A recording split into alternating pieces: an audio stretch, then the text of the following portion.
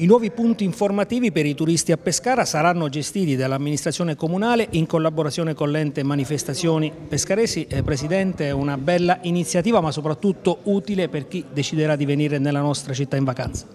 Sì, sicuramente è un'iniziativa molto utile ed è molto interessante che l'ente Manifestazioni Pescaresi che si occupa di organizzazione di spettacoli, di manifestazioni culturali, inauguri questa nuova strada eh, nei confronti dei servizi turistici. Peraltro individuando eh, diciamo, un obiettivo strategico che è previsto dallo Statuto che sin dagli anni 50 prevedeva questa unione tra manifestazioni culturali e intervento turistico, quindi è un servizio estremamente interessante con cui cercheremo anche di dare una visione creativa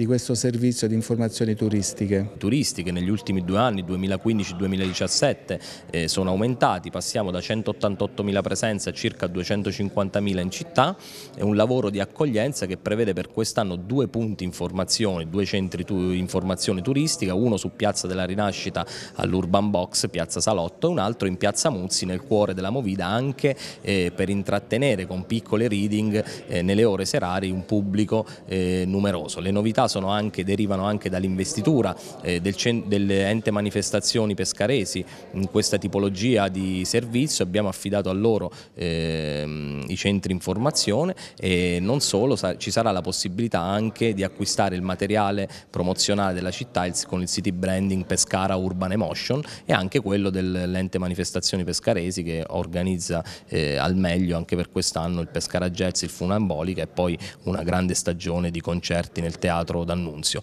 un modo per dare informazioni ma anche per far sì che la città sposi sempre di più la cultura non solo dell'accoglienza ma anche degli investimenti eh, nei confronti dell'economia e del turismo che può eh, ancora di più diventare materia di promozione e di sviluppo della nostra città.